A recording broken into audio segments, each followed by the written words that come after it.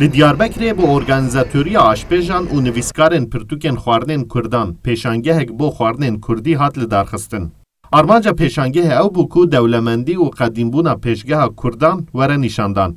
Lêkolînerên xwarinên kurdan didin zanîn ku yek ji neteweyên ku di warê xwarinê de pêşketîne jî kurd in û bale dikêşin ku Xwezaya Kurdistanê ya dewlemend rê dide ku geyayên cûrbecûr şîn bibin û ajal jî dema bi van geyayan tên xwedîkirin, goşt û geya tamên bêhempa didin xwarinê.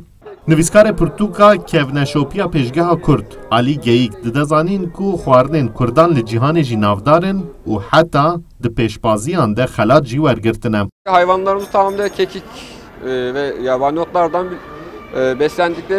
Xwarinên kurdan tama xwe ya bêhempa ji xwezaya dewlemend ku giyayê catirê cihekê girîng tê de digre û ji aşpêşên kêrhatî distînin.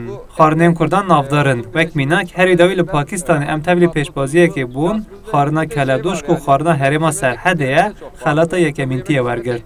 Xwarinên kurdan ên taybet ku bi piranî li malan tên çêkirin, Îrgukerî, Kutilk, Keledoş û Serûpê ne. Nivîskar û lêkolînerên ku beşdarî pêşangehê bûn didin zanîn yek ji nîşaneyên zîrekbûna Kurdan a di warê xwarinê de jî ew e ku sed û pêncî sal berê ji aliyê Şêx Muhiyedînê hênî ve pirtûka bi navê Beyana xwarinan û zewqên wan bi zimaneke helbestkî hatiye nivîsîn. Mele Burhanê Tarînî yê ku pirtûk latirîze kiriye dibêje, mînakên vê pirtûkê di çandên din de bi hêsanî nayê dîtin. Xwarinê kurda, xwarin bi çi tê xwarin, xwarina mîra, xwarina padîşaha, xwarina gundiya, xwarina bajara, her wiha şiklê cureyên xwarinê bi çi tê xwarin, Bi çi nayê xwarin, bi çi bê xwarin lezîz e, bi çi nê xwarin ne lezîz e û her wiha teferûatên gelek kûr di vê berhema Şêx Muhiyedînê hênî mitbexa kurda derdixe ser rûyê erdê.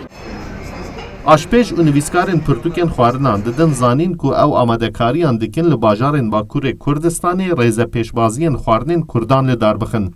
Da ku nifşên nû ku piraniya wan berê xwe didin xwarinên fast footê, xwarinên xwe jî binasin.